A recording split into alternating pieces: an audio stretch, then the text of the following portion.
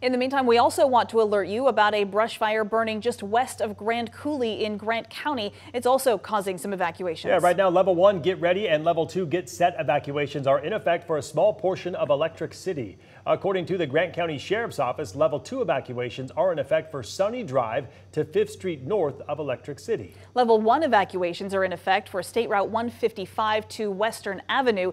You can find all of those updates on our website, or you can go to the Grant County Sheriff's Facebook page. Well, this is a picture from WSDOT East. The fire is also shutting down State Route 155 between milepost 23 and 24. WSDOT says there is no estimated time to reopen and currently no detour.